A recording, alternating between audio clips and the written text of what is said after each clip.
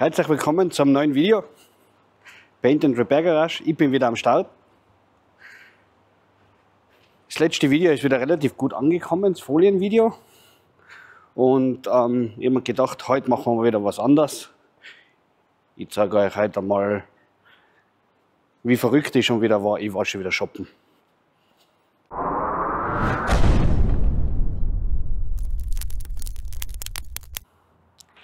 So, und was habe ich getan? Ähm, der Nissan ist bald fertig. Der steht jetzt eigentlich schon relativ cool da. Ich bin in einer ziemlich coolen Gruppe mit JDM-Fahrzeugen. Dort gibt es einen coolen Dude, den Stefan. Grüße gehen raus.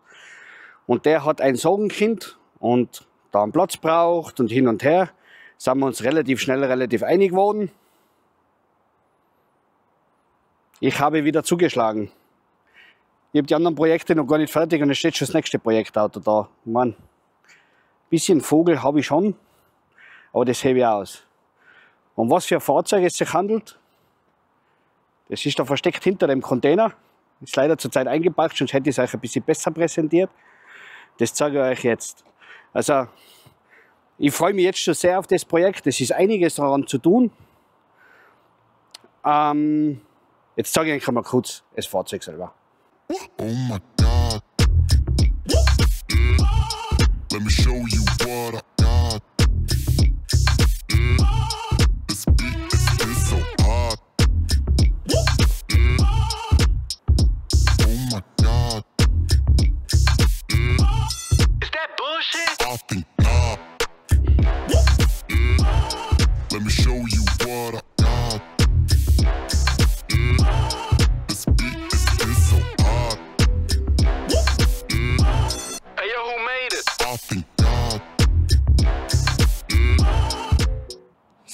kleine Vorgeschichte, ähm, wie man jetzt gerade gesehen hat, es ist schon ein bisschen eingewachsenes Auto. Es steht jetzt schon etwas länger.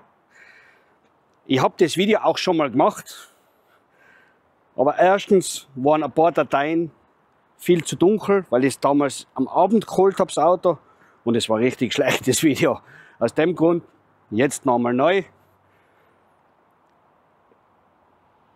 Es ist ein Honda Civic Baujahr 94, EJ9, 75 PS Version. Gekauft habe ich das Auto, weil ich es sehr günstig bekommen. Das ist eine Projektaufgabe. Ähm, er schaltet nicht mehr und äh, also Kupplung und Getriebe machen nichts mehr oder haben nichts mehr gemacht. Es ist einiges an Lack zu machen, unter anderem solche Sachen. Also gebrochene Lippe, Streifschüsse, Lackabplatzer und ähm, was links und rechts, man sieht's, da waren, da hat man versucht, das Ganze zu spachteln und selber zu reparieren. Rost, soweit das Auge reicht, inklusive da einer Spraydosenlackierung.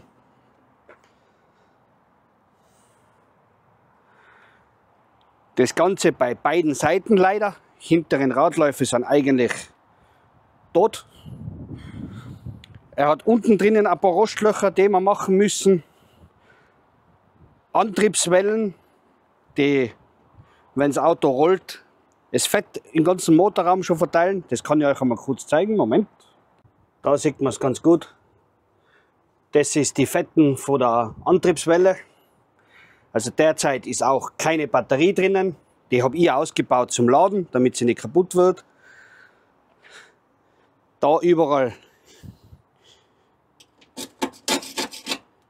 leuchtet der Rost raus. Das muss man auf jeden Fall alles machen. Der Motor selber funktioniert. Er startet, er läuft sauber. Auch das bekannte Problem mit dem Schiebedach, das funktioniert auch. Es ist dicht. Es, also eigentlich innenraumtechnisch ist das Auto im Originalzustand. Und Natürlich nichts Leder und Co. Aber für die damaligen Verhältnisse und die ist das Auto wirklich noch in einem schönen Zustand. Es ist nichts kaputt. Alles funktioniert eigentlich. Man kann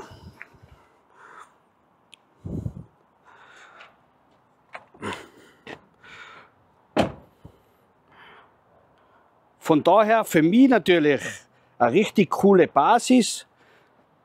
Und ich würde sagen, das wird unser erstes Low-Budget-Projekt, um das Auto herzurichten und natürlich zu verschönern und äh, TÜV fertig zu machen, damit das Ding TÜV kriegt und natürlich auch cool ausschaut. Wir haben natürlich auch vor, im Motorraum da, der ist jetzt sehr schmutzig. Wie gesagt, er funktioniert, es funktioniert alles. Äh, alles ein bisschen aufzuhübschen, ein bisschen umzubauen. Wird, denke ich, wird, denke ich, ein sehr cooles Video werden oder eine sehr coole Videoreihe.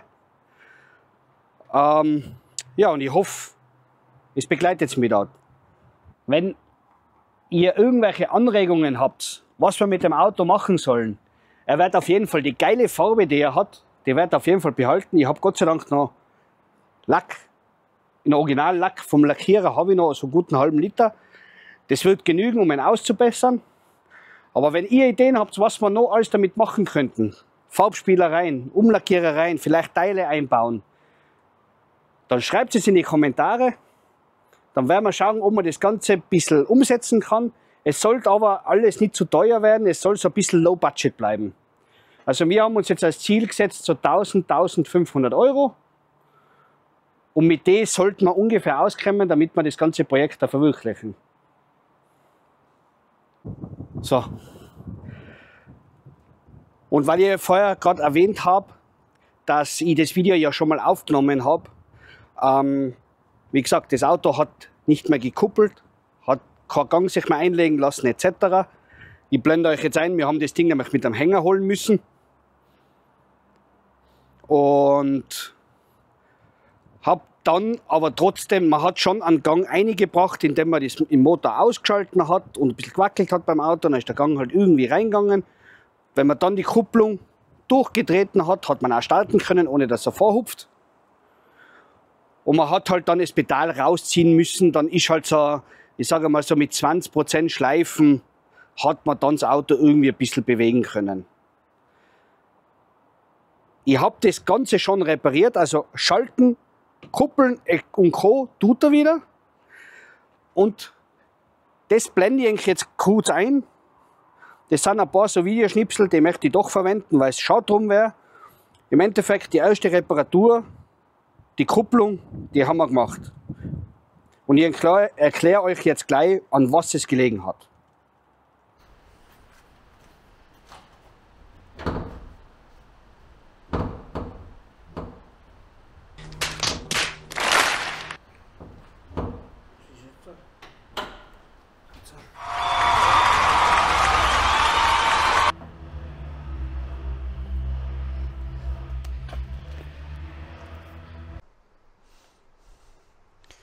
So.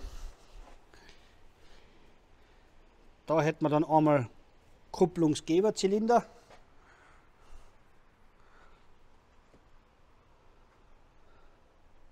Und da ist der Ausgleichsbehälter, da unten ist der Kupplungs Kupplungsgeberzylinder, Kupplungsnehmerzylinder. Heidi. Weil das Problem ist, dass du das Pedal eigentlich voll durchdrehst und es geht nur ein ganz kleines Stück wieder raus und bleibt stehen und du spürst weder Kupplungsdruck. Es ist, als wenn es leer durchgehen darf. Jetzt habe ich die Vermutung, dass da vielleicht uralte Flüssigkeit drin ist und auch zu wenig, weil es ist wirklich eine Suppe. Also ich habe natürlich schon kurz reingeschaut, ich zeige es euch. Es ist auf jeden Fall viel zu wenig und es ist pechschwarz. Sollte aber ausschauen wie der da. So als Vergleich.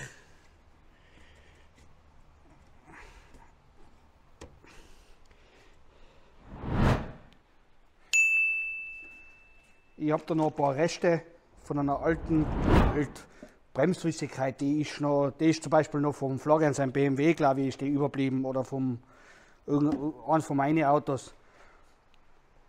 Zum Testen und zum Durchspülen ist die jetzt einmal lang genug. Und je nachdem, was wir mit dem Auto noch vorhaben, werden wir dann sowieso eine brauchen, falls wir dann Leitungen neu machen müssen. Das muss man jetzt alles anschauen.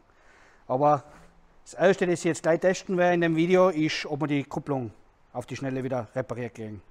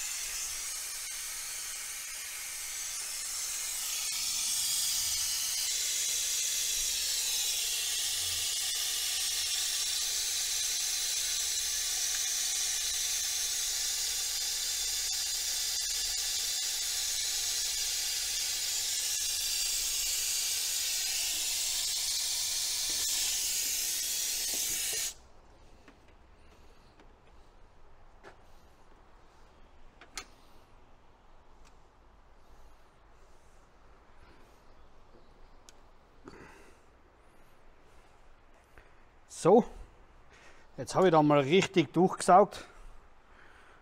Ich kann es euch kurz zeigen. Das ist richtig. Also was da jetzt.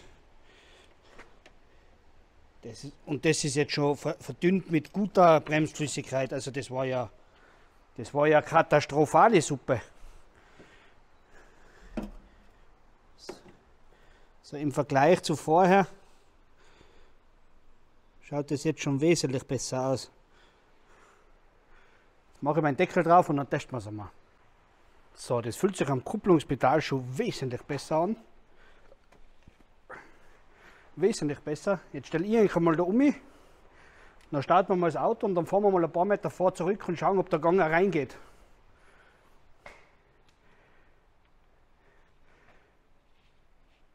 Äh, jetzt haben wir nur das mit der Bremsflüssigkeit gemacht, was ihr gerade gesehen habt, ein bisschen entlüftet, nachgefüllt, ein bisschen getauscht. Ich habe jetzt auf jeden Fall schon Gegendruck und das Pedal kommt von selber wieder raus.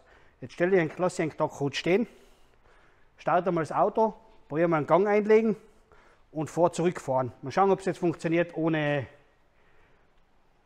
ohne Zahnräder putzen beim Getriebe.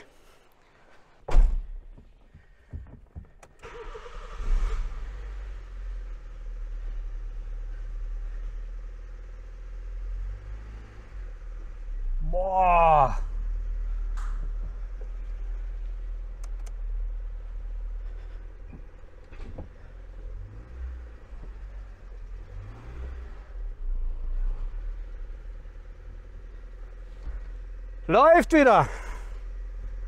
Kann alle Gänge schalten. Geil. Und bitte nicht vergessen, liken, abonnieren, kommentieren. Würde mich freuen. Pusht ein bisschen den Algorithmus. So, an was hat es gelegen? Eigentlich relativ simple Sache. Da gibt es da, da ist Bremse, also Bremsflüssigkeit. Da ist Kupplungsflüssigkeit, ist dieselbe. Und wenn man die aufgemacht hat, kann es herzeigen kurz. Wupp. Man sieht jetzt, sie ist jetzt zwar nicht astrein, aber sie ist relativ klar. Sie ist gescheit befüllt. Und das war das große Hauptproblem. Es war der uralte Brem also Kupplungsflüssigkeit drin, also die war mindestens, von der Optik würde ich sagen, mindestens 10 oder 15 Jahre alt, mindestens, wenn nicht noch älter. Also die war, normal sollte so honigfarben sein, die war schwarz. Sie war unter Minimum und sie war klebrig. Das muss man sich vorstellen, das war fast schon die Konsistenz wie so, wie so die Spielschleim, den man so früher, die Nickelodeon-Spiel lieber. So hat das ungefähr von der Konsistenz gewirkt. Was habe ich dann gemacht? Im Endeffekt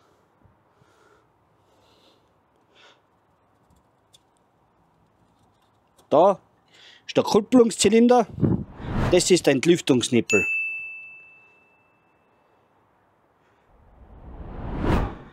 Den habe ich im ersten Schritt einmal aufgemacht, komplett rausgedreht, dann ist nichts passiert. Da ist nichts rausgerunden, obwohl es rausrennen sollte. Ähm, haben dann wieder leicht reingedreht, haben wir von einem Nachbarn so ein Vakuumabsauggerät zum Entlüften für Bremsen und Kupplungen ausgeliehen, habe das angeschlossen, habe oben, wo das Reservoir ist, einen Deckel draufgeschraubt und habe mal mit Druckluft.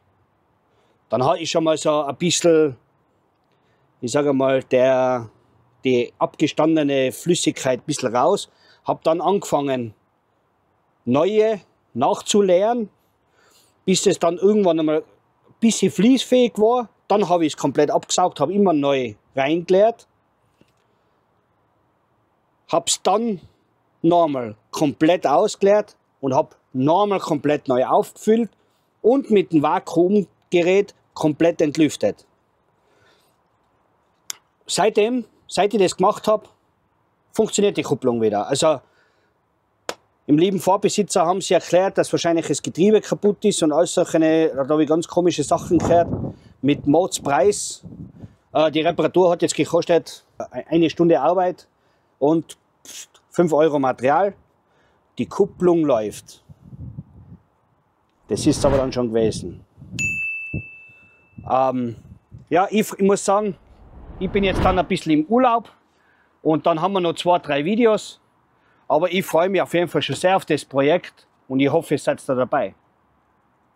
Ja, ich würde auf jeden Fall sagen, ich glaube, das wird eine relativ spannende Videoserie werden. Ich freue mich jetzt schon sehr drauf. Basteln einmal auf einen, auf einen, auf einen Oldtimer.